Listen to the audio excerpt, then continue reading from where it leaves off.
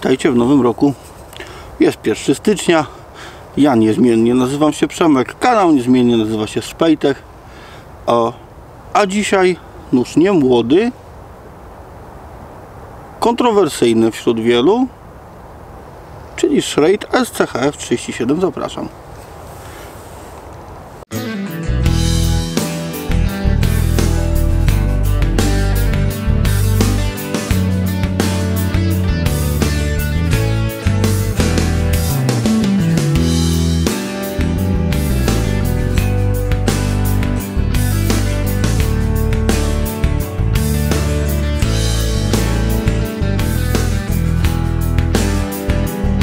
No dobra. Słuchajcie, y, zacznę od, y, od tej bezsensownej pochwy, która jest do tego noża dodawana. Y, a potem przejdę do samego noża, bo o pochwie nie ma się co y, rozgadywać. Nylon zapinany do paska na rzep. A w środku wkładka z plastiksu na dodatek jakby wszystkiego było za mało dźwigać. Ćwierć krzesiwa z blaszką. Krzesiwo krzesze, bo jak gdyby no krzesze no. Ćwierć krzesiwa z blaszką i oseł, osełka z kawałem plastiku. No. E, to pochwiszcze E, jak rozmawiałem z różnymi użytkownikami szrejdów w ogóle. To jest jeden z e, powodów, dlaczego ludzie nie użytkują między innymi tego noża. Bo to jest pochwa do bani. Znaczy, no, to bez sensu. No, wiem, że się nylą drze po pewnym czasie użytkowania. Ja ten już mam dwa lata. E, użyłem go no, kilka razy tak, e, więc, więc nie ma prawa być zniszczony, ale, e, ale z innych powodów, to zaraz będziemy o tym rozmawiać. Natomiast e, no, ten nylon, tak, no bez sensu rozwiązanie. No nóż, który powinien być nożem survivalowym, tak to nazwijmy, no powinien mieć jakieś rozwiązanie, które będzie no, bardziej odporne chyba na yy, na to, co ten nóż powinien sobą reprezentować, więc nie gadam na temat. Wtrąciłem się ten nie gadam na temat tej pochwy, bo to nie ma sensu, szkoda marnowania czasu, tak? Jeżeli ktoś kupuje ten nóż, to jest pewien problem, no to zaraz do tego przejdziemy, natomiast prawdopodobnie będzie sobie i tak jakąś pochwę rzeźbił z czegoś innego, jakiegoś kdeksu czy, czy, czy, czy z czegoś y, innego sam nóż. Słuchajcie, e, ja kupiłem ten nóż ze dwa lata temu. Faktycznie użyłem go e, niewiele razy, ale, e, ale to zaraz, tak? Nóż kupiłem dwa lata temu i przeleżał sobie. Musiał dojrzeć do, do tego, żeby go zrecenzować. No. Zacznijmy od wielkości, tak? 31,5 cm głownia prawie 18 e, full tank e, bodaj 6 mm 6 mm grubości. Okładziny z TPE czyli to jest termoplastyczny kauczuk. Skręcany na torksy skręcany na śruby no tor, no, skręcane na śruby, a tu pod palcami jest karbowanie, które poprawia uchwyt. Tu od góry jest karbowanie, które również ten uchwyt poprawia. A tu mamy finger choil, czyli do skrócenia uchwytu w, e, przy pracach, no nazwijmy to bardziej precyzyjnych, tak.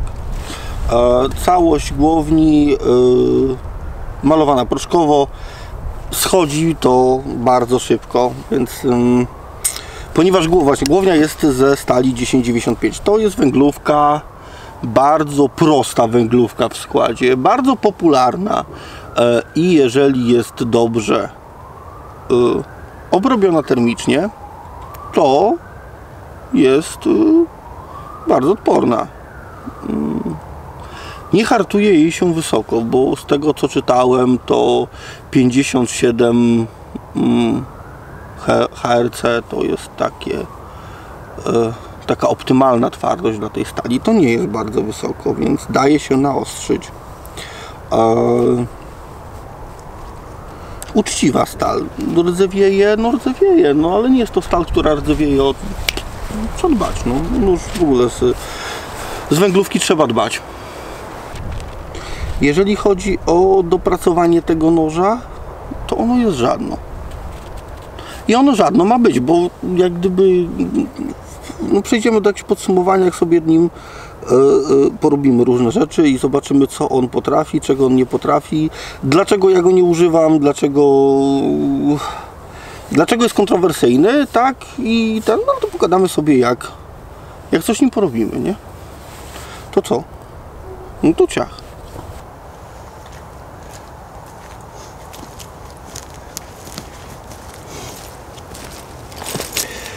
Słuchajcie, nie powiedziałem Wam jednej dość istotnej rzeczy. Nóż waży 430 gramów. To kawał jest narzędzia. Więc powinno wykonywać robotę, która przystoi takiemu kawałowi narzędzia.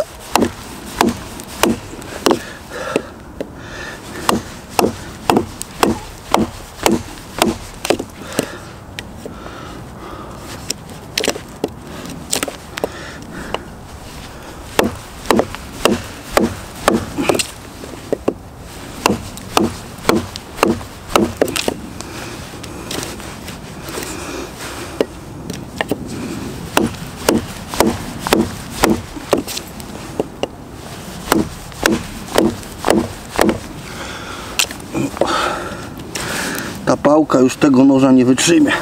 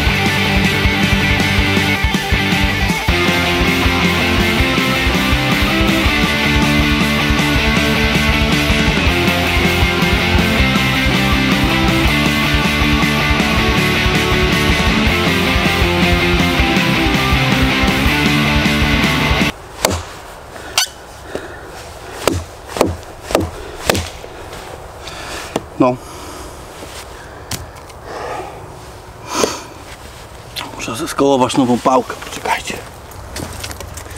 Dobra. Jest nowa solidna pałka. Miejmy nadzieję, że wytrzyma chwilę.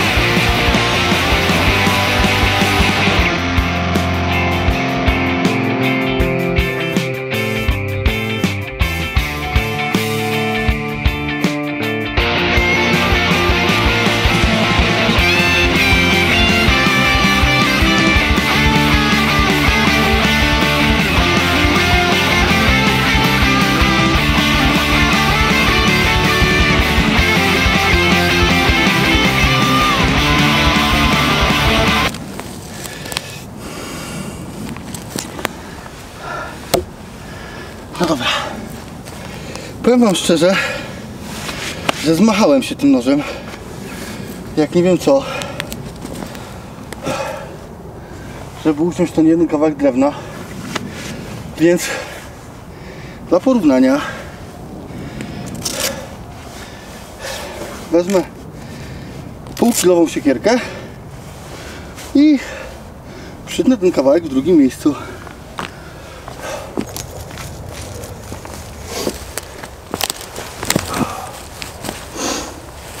Słuchajcie, hultaja dostałem od żony.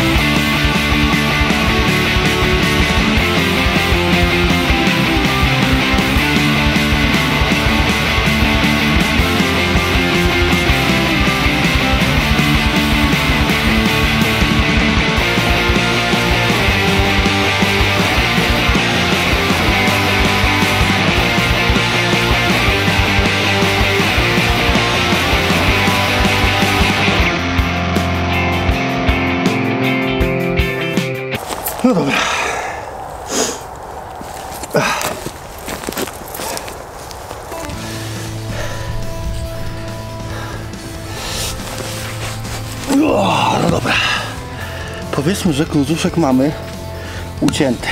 Da się, da się uciąć tym nożem taki klocek. Da się to przerąbać. Letko nie będzie, słuchajcie, bo on jest grubawy. Więc sobie pojedźmy po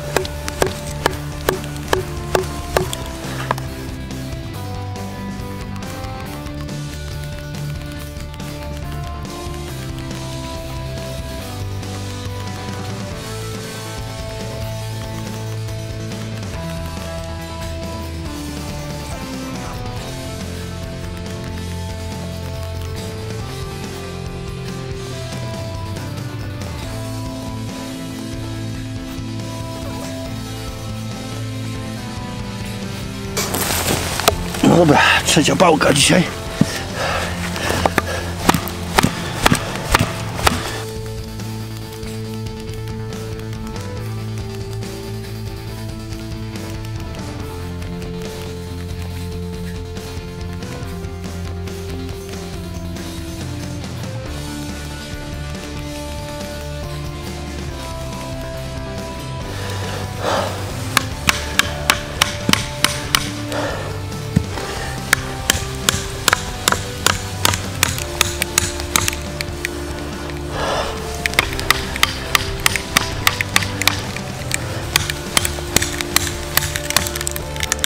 Słyszycie?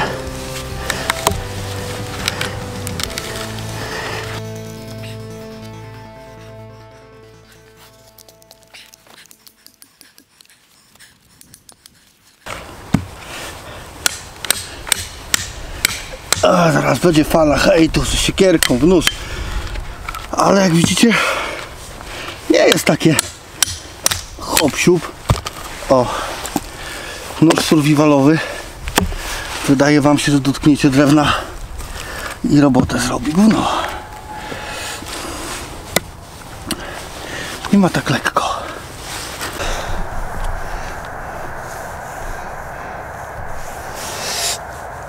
Bateryjka sobie padła.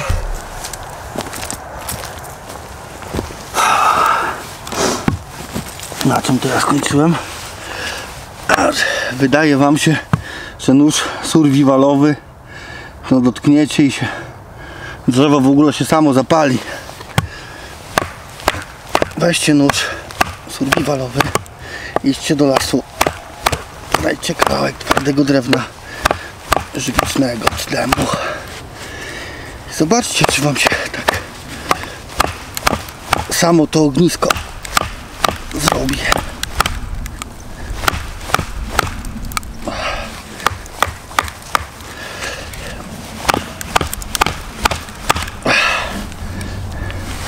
Nie wiem czy słyszycie, ale słyszę jak to drzewo aż trzeszczy w środku. Jak się rozłupuje. Jak go zostawić nawet teraz. Widzicie takie trz, trz. Potrzaskiwania.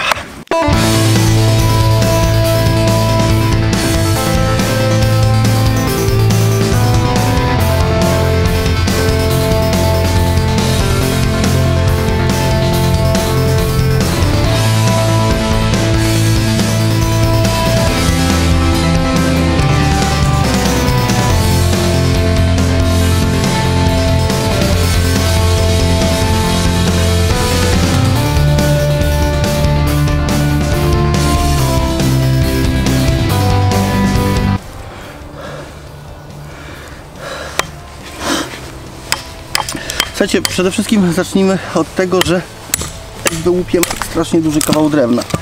Kloc. Tego nie powinniśmy łupać siekierą. Tak? To jest pierwsza rzecz. Ach. Bo, znaczy nie powinniśmy walić yy, siekierą w nóż, no to jest jak gdyby pierwsza podstawowa rzecz. Druga rzecz jest taka, że e, dookoła nas jest dużo podpałki, która e, no bez takiej ekstremalnej rąbaniny starczy nam na e, na podpałkę, na rozpałkę i nie musimy takiego klota batonować, ale wytrzymałość noża sprawdzić by należało, tak?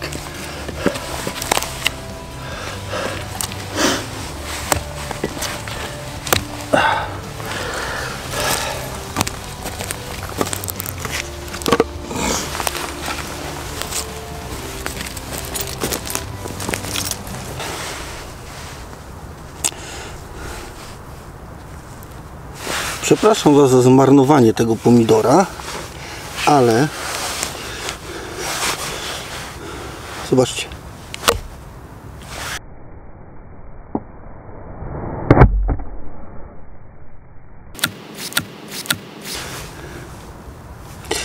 Yy, dobra, sam jestem zdziwiony.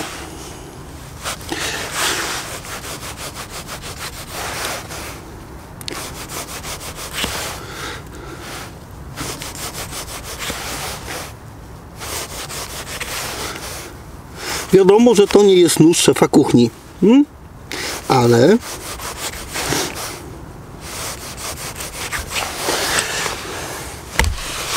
o, to przejdźmy do jakiegoś podsumowania. No oczywiście nie zrobiłem zbliżenia, no jak zwykle o wszystkim powiedziałem. Nie zrobiłem zbliżenia tego noża. Mam nadzieję, że się wyostrzy, bo zaczyna być słabe światło. Mm. Rękojeść z TPE. Tu, czekajcie, bo on jest dosyć, o, dosyć ciężki, a jeszcze dosyć ostry. E, dziurka na temblak. Rękojeść skręcona na śruby. Tu jest karbowana. Mm, tu jest karbowanie. Tu jest finger choil czyli można sobie skrócić chwyt. No tu nie ma sensu już jak gdyby karbować. Głównie jest dość gruba. Szlif wbrew pozorom dość wysoki. On jest wklęsły, więc y, żebyście y, mieli świadomość, że on do krojenia też no, się nadaje, tak. Widać, bo y, na pomidorku dropek, tak, wytrzymały.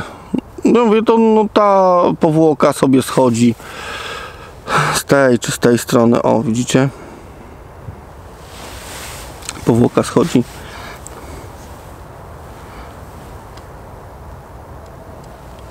no i tyle naprawdę jest wygodny w chwycie super ma ten chwyt. Jak na taką y, y, armatę, to jest naprawdę chwyt wysoki. Znaczy chwyt jest wygodny. Wysoki. Chwyt jest naprawdę wygodny. I ta faktura, ona jest taka lekko gumowa. Dlatego może się ją tak wygodnie trzyma, bo on tak on się aż klei do ręki. Hmm? Widać?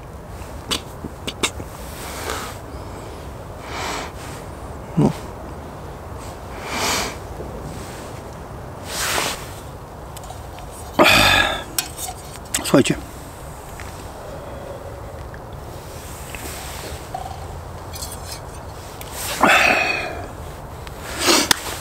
Nie będę ukrywał, że przy rąbaniu takiego kawału drewna tym nożem się zmachałem. Twarde drewno. O, ja nie mam wprawy co do takich działań survivalowo-terenowych. Mm. I siekierką idzie łatwiej. No, nie, ma, nie da się ukryć. Co do pomidorka, no byłem zdziwiony naprawdę. Myślałem, że jak uderzę w tego pomidora tym nożem, to się rozciapcia. No, zdziwiłem się. Eee... Szczerze mówiąc, nie bardzo wiem, jak mam, mam podsumować ten nóż. To jest nóż, który jest e, dla mnie pełen kontrowersji, bo waży 400, ponad 400 gramów. Cały nóż, więc wiadomo, że y, uderzanie tym nożem to nie jest e, energia, która wykorzysta te 400 gramów. To w mojej opinii lepiej wziąć półkilową siekierkę. No. Mm. Nóż jest duży, więc do większości prac takich leśnych bez sensu, no, no nie wyrzeźbicie sobie nim łyżki. No, pewnie sobie wyrzeźbicie, jak ktoś jest wprawny, ale, ale jest nieporęczny. Do rąbania no okej, okay, no. Chociaż mówię, siekiera lepsza. Ale drewno urąbię, urąbię, no żarcie zrobi, zrobi, obóz przygotuje. Yy, natomiast yy, pojawia się jeszcze jedno pytanie. Yy. Określa go jako nóż survivalowy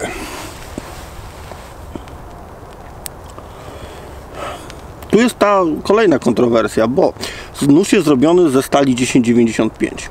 Tak, z tej samej stali robi noże ESE.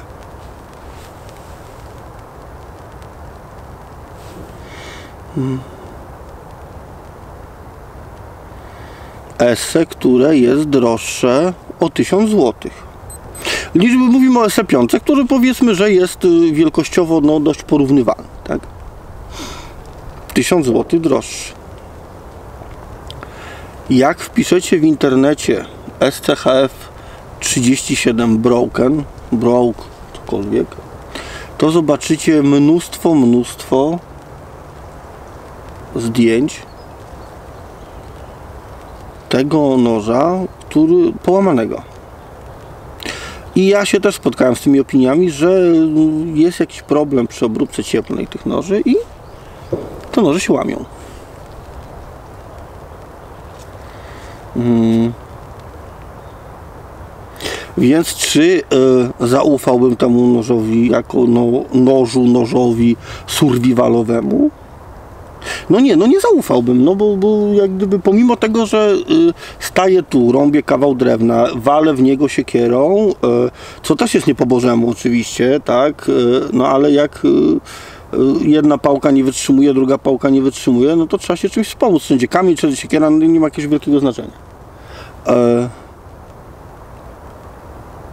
Wytrzymuje, tak? Natomiast y, no, miałbym co do niego pewne obawy. Nie wiem dlaczego, może to przesąd, tak? Więc nie traktujcie tego jako wyrocznie, ale miałbym pewne jakieś tam obawy.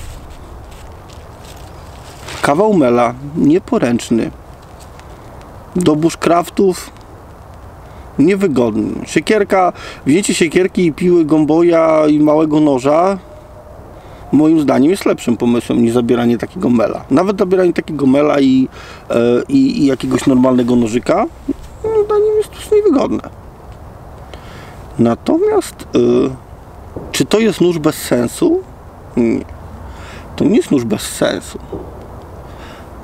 W moim użytkowaniu mm, kiedy ja nie jestem pilotem śmigłowca, tak, i w ogóle nie latam nad Afganistanem, nie walczę z państwem islamskim, czy Bóg wie co jeszcze nie robię, o posiadanie w ogóle noża określonego jako nóż survivalowy, jakby on nie wyglądał, to yy, nie do końca ma sens.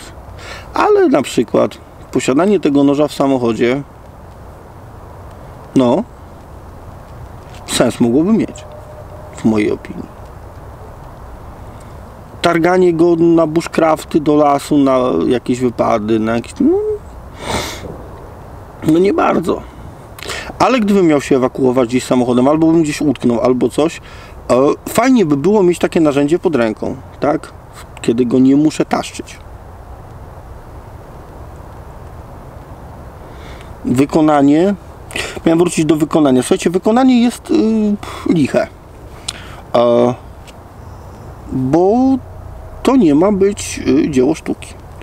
O, okładziny z TPE sprawdzają się yy, nad wyraz fantastycznie. Ten nóż się trzyma dużo lepiej ręki niż yy, nie jeden nóż, który miałem customowy, nie customowy, yy, lżejsze dużo, a trzyma się go doskonale. Ta rękojeść jest doskonale wyprofilowana i doskonale ta głównia jest yy, ten, ten materiał, jakby to TP jest doskonały, doskonałym materiałem. Nie ucieka z ręki. Yy, mi osobiście raczej nie chce tam dygnąć z ręki. Podejrzewam, że gdybym tam nim porąbał trochę, to i zmęczyłbym sobie dłoń przed ramię, to podejrzewam, że no chciałbym mi dygnąć z ręki, ale tak nie chciał. Mm.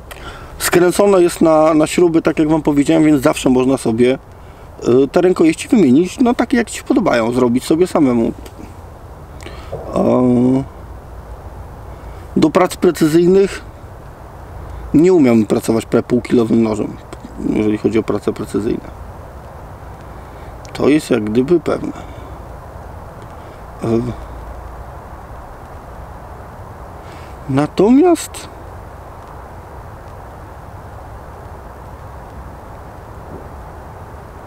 tak się zastanawiam, no bo jak gdyby ja tego noża nie używam, ja nie mam do niego jakichś uprzedzeń, tak? Po prostu kupiłem go dwa lata temu i po kilkukrotnym użyciu stwierdziłem, że ten nóż dla mnie jako takiego użytkownika e, powiedzmy leśno-domowego mm, czy powiedzmy leśno-codziennego, tak będzie lepiej brzmiało, jest y, niewygodny i wtedy określam jako bezsensowny. No dzisiaj jak gdyby znajduję więcej jakichś sensownych zastosowań dla tego noża, ale nadal nie jest to nóż, który e, będzie moim codziennym kumplem, no bo nie będzie tak. Może być moim wyposażeniem samochodu. Yy, mogę z niego od czasu do czasu do czegoś tam skorzystać, natomiast yy, yy, nadal nie doszukuję się w nim jakiegoś ultra super hiper sensu. Taka jest moja, yy, yy, moja opinia na temat tego noża. Zachęcam Was do komentowania, do dyskusji, do dyskusji na grupie. Na grupie już jest od jakiegoś czasu temat, e, poruszyłem taki temat dotyczący dlaczego, dlaczego Schrader, dlaczego, dlaczego SE, tak, jeżeli to jest ta sama stal, to, e, to dlaczego jeden, a nie drugi i, i skoro jest taka wielka różnica w cenie. Ta różnica w cenie chyba też oddziałuje psychicznie na to, że, że nie bardzo chcę zaufać temu nożowi jako nożowi survivalowemu. Taka prawda. Zachęcam Was do dyskusji, zachęcam Was do subskrybowania e, naszego kanału. No i do zobaczenia. No, najlepszego w nowym roku. No. To jest pierwszy film, który nagrywam w 2018 roku. Trzymajcie się.